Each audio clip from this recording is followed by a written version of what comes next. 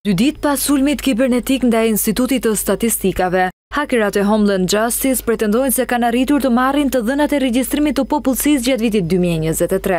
Sipas hakerave, të dhënat janë kopjuar dhe hequr nga serverat e Instat, ndërsa akuzojnë këtë të fundit për manipulim të censit. Instat është fshehësi më i madh i së vërtetës. Tani kemi akses të plotë në mbi njëqind terabajtë të të dhënave tuaj, GIS dhe censit. Të dhënat gjithashtu janë kopjuar dhe hequr nga serverat. Do të kthejmë drejtësinë në atdheun tonë. Të gjitha statistikat janë kundër nesh.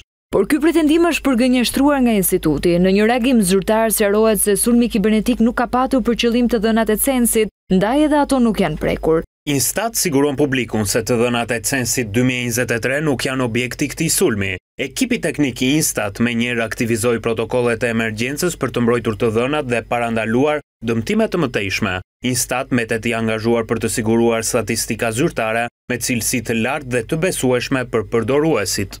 Megjithatë, kjo lë hije dyshimi, pasi vetë INSTAT ka marrë masa duke shtyrë publikimin e rezultateve përfundimtare që ishte parashikuar për në qershor të këtij viti.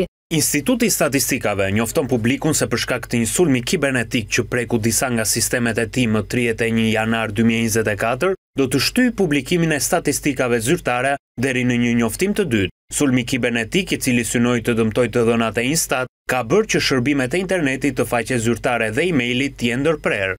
Në fund të vitit të kaluar, pas sulmit kibernetik, Kuvendi i Shqipërisë njoftoi se të dhënat nuk ishin prekur, por hakerat e Homeland Justice publikuan servera e-maile dhe shkëmbime sensitive të institucionit shtetëror, duke faktuar se kishin marrë të dhëna të punonjësve dhe aktivitetit të institucionit.